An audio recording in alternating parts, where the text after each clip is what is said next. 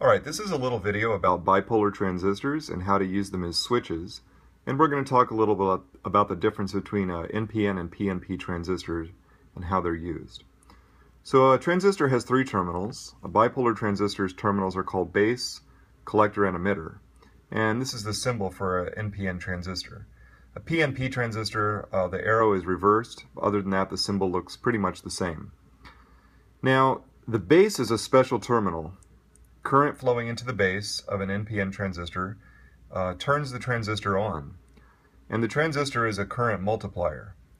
So however much current is flowing into the base, uh, that current will be multiplied um, in the output of the transistor. Now in an NPN transistor, current flows typically from the base to the emitter in a switching uh, configuration. So in a conventional current flow, current flows from positive to negative. And here we have a battery or a voltage source. Positive terminals up here. If this switch is closed, current will flow through this resistor and into the base of the transistor. And to form a complete circuit, it will flow through this arrow and out the emitter back to the negative terminal of the battery. So this is really our control circuit here, this loop. And current flows in this direction when the switch is closed. Now when current is flowing from the base to the emitter, the transistor is turned on.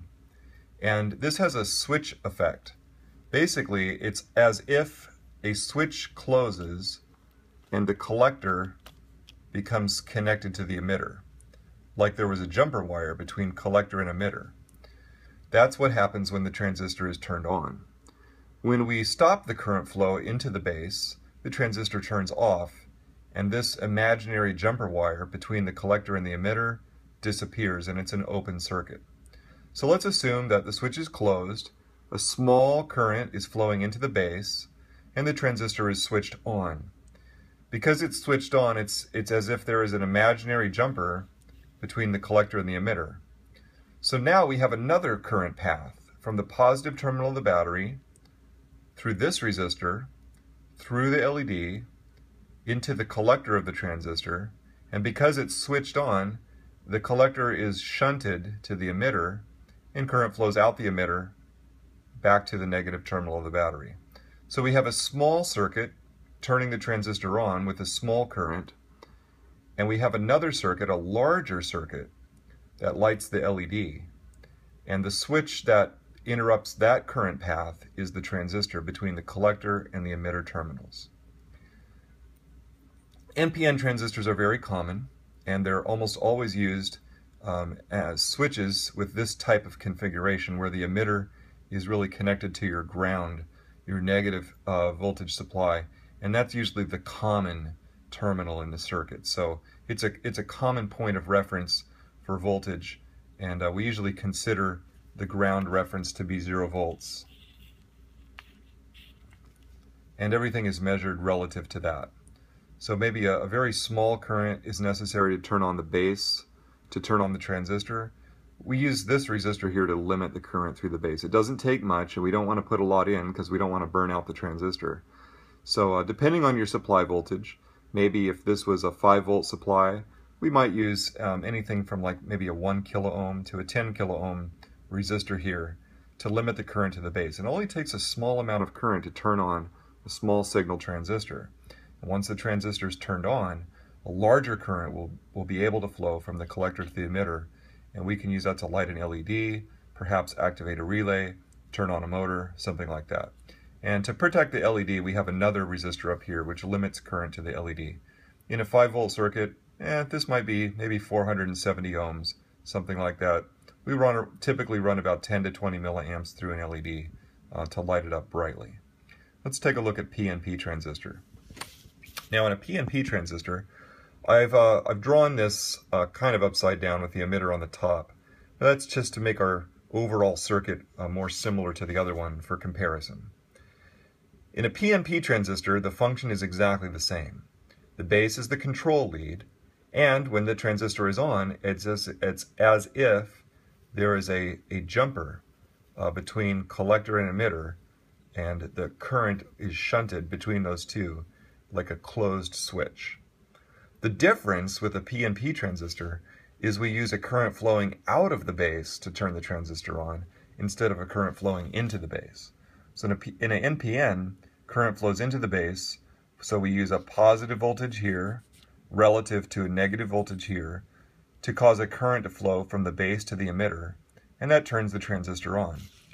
In a PNP transistor, we use a negative voltage at the base relative to a positive voltage at the emitter. And uh, current flows this direction to turn the transistor on. Now the actual voltages don't really matter, it's only relative. As long as the voltage at the emitter is higher than the voltage at the base, current will flow from emitter to base and turn the transistor on. Remember, in bipolar transistors, it's current flow that matters, not voltage. As long as we can get a current to flow from the emitter to the base, this transistor will turn on, and the collector and the emitter will be connected together internally, and a larger current can flow. So let's take a look at the operation of this circuit. Here again we have a common ground of 0 volts, which is connected to the negative lead of our battery, the same as before. We also have a positive lead coming from the battery, going through the transistor, and if it was on, the emitter and the collector would be shunted together, and current from the positive side of the battery would be able to flow through this LED, through the current limiting resistor, and light the LED. But no current will flow unless the transistor is turned on, and for that we need a positive current flow into the emitter and out of the base, the opposite of an NPN transistor.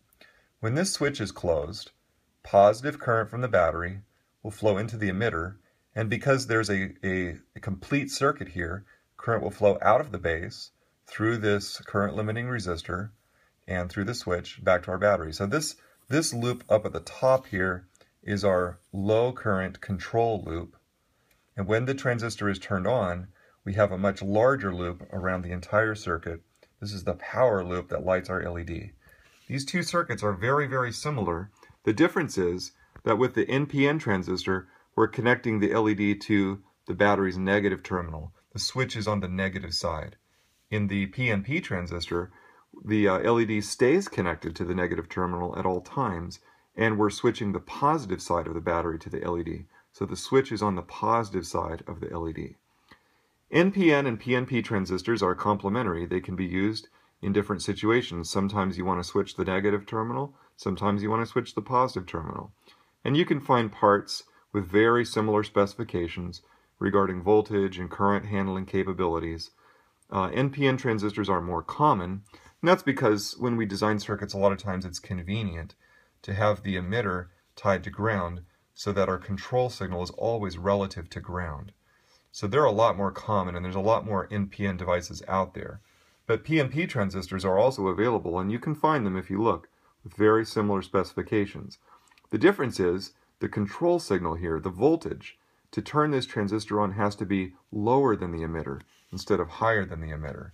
So the emitter really becomes the common reference for the control signal. And in this case, if we had a 5 volt battery, uh, the emitter would always be at a 5 volt level and we would have to take the base voltage lower than 5 volts in order to turn this on.